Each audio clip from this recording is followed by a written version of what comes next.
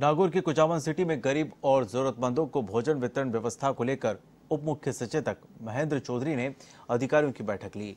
Block स्तरीय बैठक में उन्होंने प्रशासन की व्यवस्था पर संतोष ज़ाहिर किया, साथ ही हर जरूरतमंद तक भोजन पहुँचाने की अपील की। जिसमें कस्बे में कोई भी व्यक्ति भूखा नहीं सो पाए, उन्होंने अधिकारियों को विश्वास दिलाया कि शहर में राशन सामग्री की कमी नहीं आने दी जाएगी। उसके बाद चौधरी ने प्रशासनिक अधिकारियों के साथ शहर में फ्लैग मार्च भी किया और लोगों को कोरोना के प्रति जागरूक किया।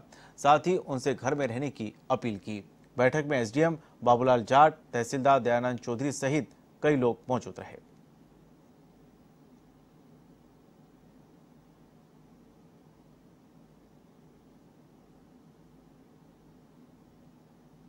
केंद्र के अंदर कई लोग हैं, उनसे भी मैं देख के आया था, उनके पूछ के आया था। मैंने देखा, अधिकारियों की मीटिंग भी ली है, अभी यहाँ भी ली है, मैं शहर का भी जायजा लूँगा।